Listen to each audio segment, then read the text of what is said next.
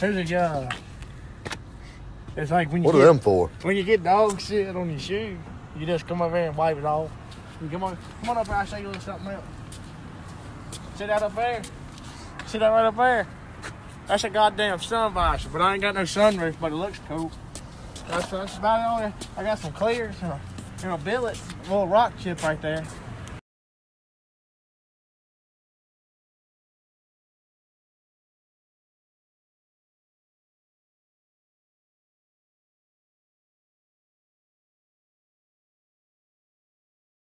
I'm Slave Boy, and I'm gonna show you the steps to having a Carolina shit box.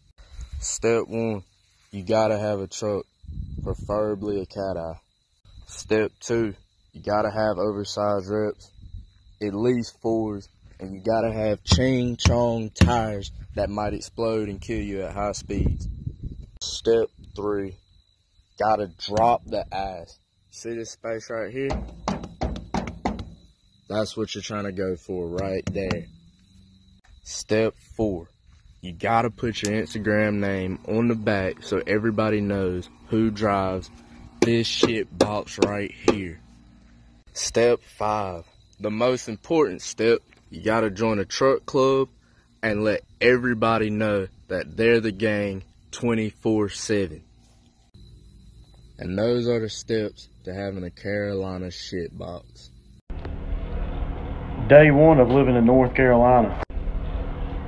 One week of living in North Carolina. I got a Yeti full of beer and a fat bitch in a squatted truck. You ready to go to Cookout Bow? I showed you how to have a Carolina shit box. Now I'm gonna show you how to dress like you drive a Carolina shit box. Gotta have on some Sperrys. Maybe even all white Air Maxes. And if you wear the all white Air Maxes, put on some khaki shorts and some midway white Nike socks and you're good to go. Gotta have the right shirt. Probably something like Vineyard Vines. Anything along that line, as long as the shirt's at least $30 or more. You need you one of these rope chains right here. Don't put a pendant on it. Just get the chain. And you need a hat.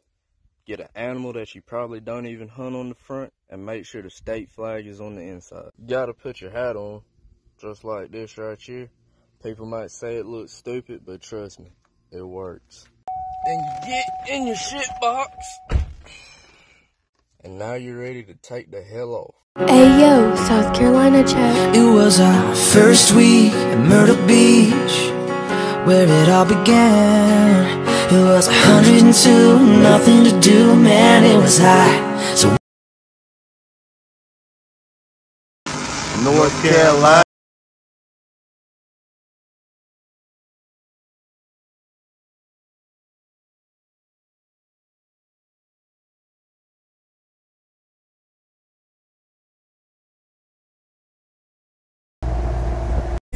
Nickel. Uh, ice on me just like a sickle. Uh, might buy a bike and if I bought a bike, then I'm putting ice on a bicycle. Uh, these nigga bite, oh yes, these nigga bite like Mike Tyson. I react with giggles. Uh, Penny, how you feel?